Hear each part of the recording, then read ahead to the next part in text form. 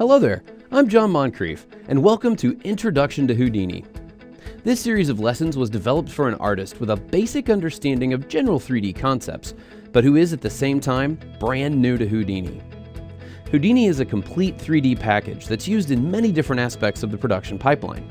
In this course, we won't be covering every single tool in Houdini, but rather developing the skills that you'll need to get up and running with the interface and understand the basic concepts required for using the software.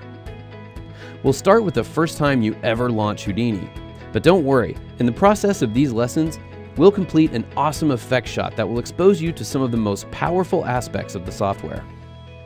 We'll start with the key concepts of the user interface, basic geometry manipulation, and polygon modeling. We'll explore how to import geometry, create custom assets and user interfaces, apply materials, and manipulate UVs. Then we'll move into animation and dynamics, where we will create a system to complete a dramatic effect shot using rigid bodies and fractured geometry. Finally, we'll discuss basic lighting and rendering concepts to help round out the course.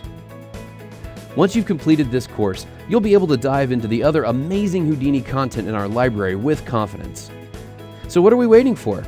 Let's get started with our first lesson.